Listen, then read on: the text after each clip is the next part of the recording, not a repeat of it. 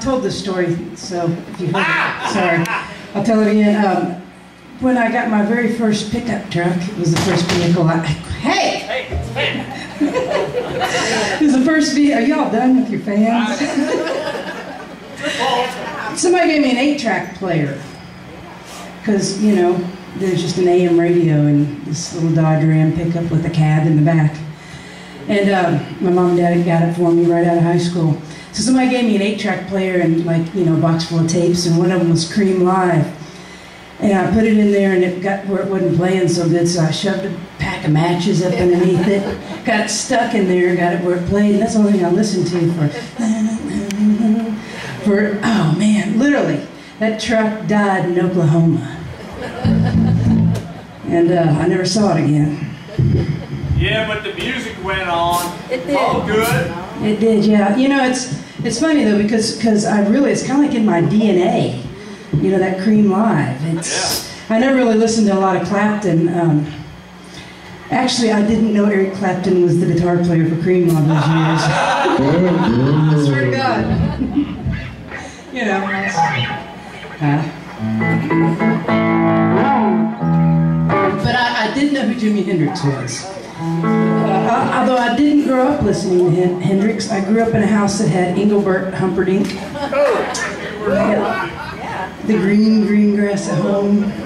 It was a Baptist home that I grew up in, and we just, I mean, my parents weren't against rock and roll, it just wasn't really what they listened to. My mom was a classically trained pianist, and we had Roy Clark and Hee Haw and, you know, stuff like that. And so when I discovered Jimi Hendrix, I was so excited.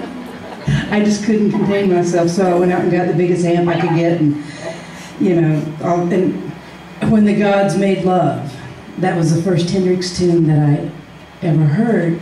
You know, and that's just nothing but feedback. I, I had no idea what that was, so I sat in front of my little amplifier that I got with my first babysitting job, and turned it up as loud as it go, and I'd point my guitar in which direction. It was um, my parents didn't know what to think, so. Watch their baby?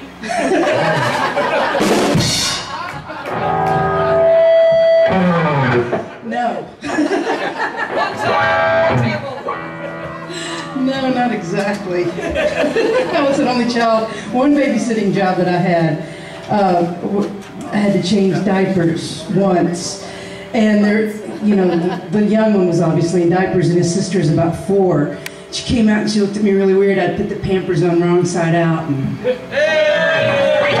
didn't go so well. So I, I, that really wasn't my thing. So I'll get back to doing what my thing is.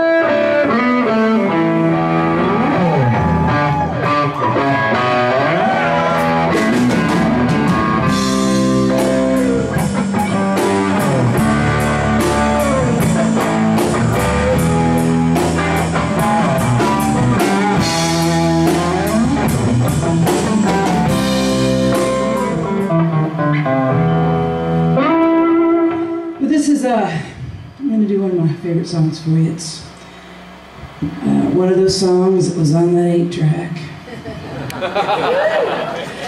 not only did I know it wasn't, uh, did I not know that it was um, Eric Clapton, I didn't know who Robert Johnson was either. Nah. But I was a young punk and I knew everything else. Yeah, you you knew. You when you're knew. 16, 17 years old, you know everything there is to know. Then you find out how it really goes. But I really appreciate you being here tonight. Jimmy Dave Kemp, I appreciate you all being here as well on this journey. And um, we've played many, many, many clubs in this country, and this is by far one of my absolute favorite clubs.